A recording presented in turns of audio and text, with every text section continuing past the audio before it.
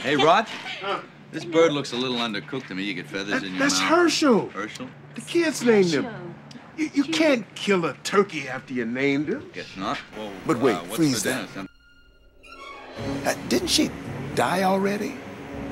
I guess Donner had a hard time with the idea of killing Patsy. He probably didn't want to get in that editing room and think, damn, I sure miss Patsy. Sorry, man, she's gone. You killed her.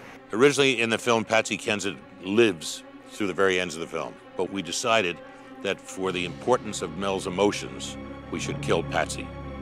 And it made the heavies heavier.